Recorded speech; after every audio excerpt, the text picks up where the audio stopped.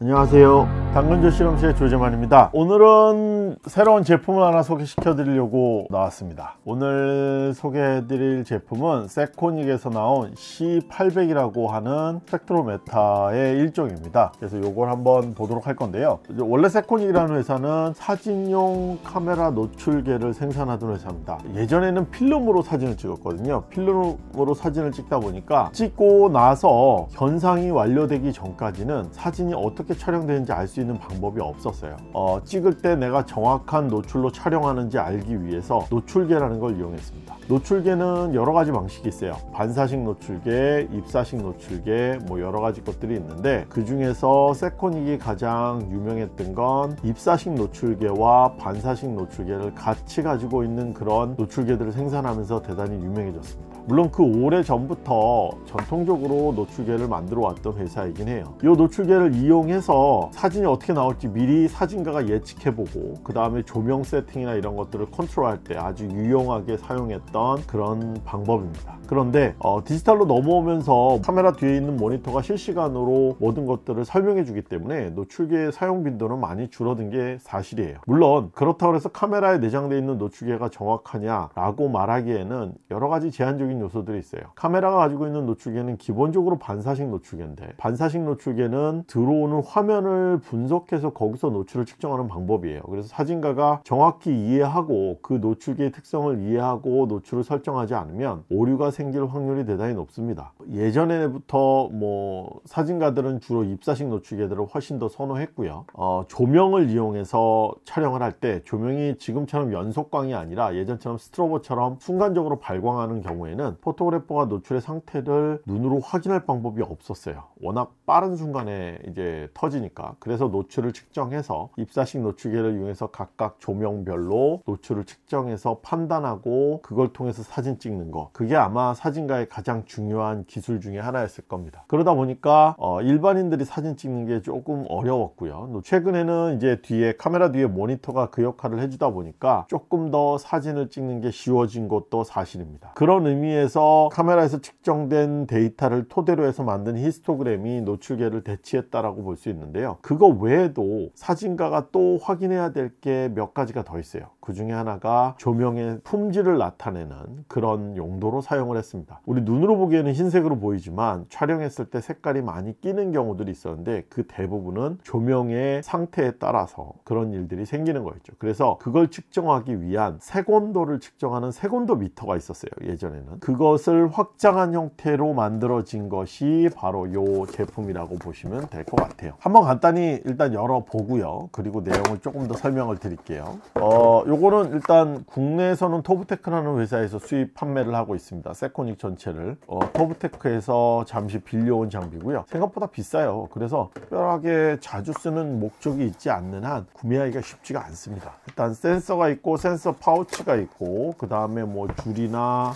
간단한 매뉴얼 정도가 있어요. 근데 요, 요즘은 뭐 이런 매뉴얼들은 인터넷이나 파일로 보통 보기 때문에 큰 의미는 없고요. 중요한 건 요 센서죠. 센서의 모양은 이렇게 되어 있습니다 이렇게 되어 있고 이쪽에 있는 것이 이제 수광부. 그래서 빛이 들어오면 그 빛을 보는 거고요.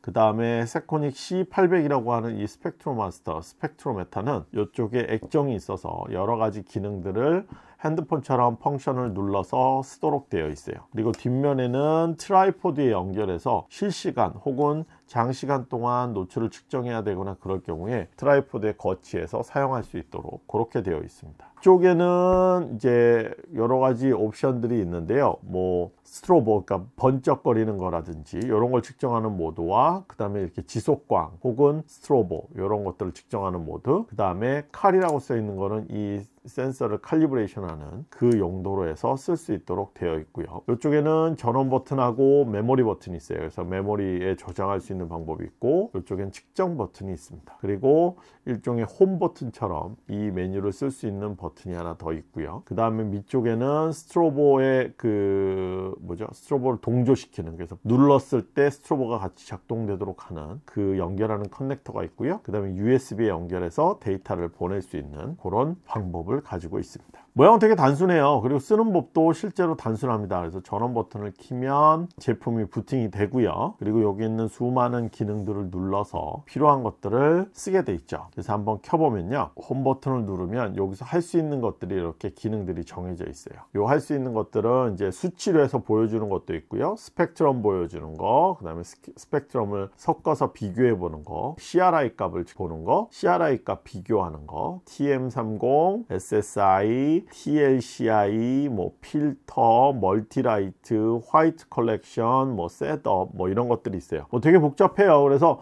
실질적으로 모든 내용을 다 알고 쓰는 사람은 제가 생각하기엔 거의 없을 거라고 생각돼요. 자기한테 필요한 부분만 보통 사용하게 될 텐데요. 예를 들면 제가 여기서 가장 많이 사용하는 것들은 CRI 값 정도가 답니다. 나머지 것들은 저에겐 큰 의미는 없어요. 그런데 만약에 영상을 촬영하는 촬영 기사이거나 그럴 경우에는 요걸 이용해서 조명의 상태나 이런 것들을 측정하고 영상에서도 이제 white point나 이런 것들이 중요하거든요. white point를 조금 더 정밀하게 그렇게 수치로 확인할 수 있습니다. 그래서 조명 상태를 측정해서 그걸 바로 수치로 카메라에 setup할 수 있는 그런 방법들도 있고요. 그 다음에 필터 같은 것들은 예를 들면 지금 색온도가 이런데 색온도를 shift 시키기 위해서 어떤 필터를 선택해야 되는지 그런 것들도 알려줘요. 뭐 많은 기능들이 있지만 뭐 그것들을 다 쓰는 방법도 하나 뭐 이 제품을 잘 쓰는 방법이겠죠. 그런데 그럴 일은 거의 없어요. 왜냐하면 일하는 분야가 다 다르니까.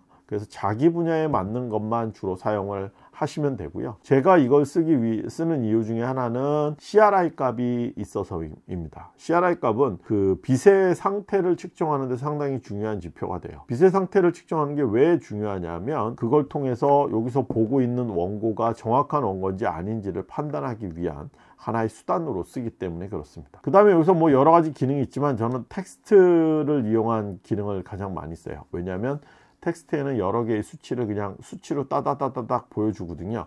어, 조금 익숙해지면 이 수치만 읽어도 아 이게 뭘 의미하는 거구나 알 수 있기 때문에 이 모드가 상당히 훌륭한 편입니다.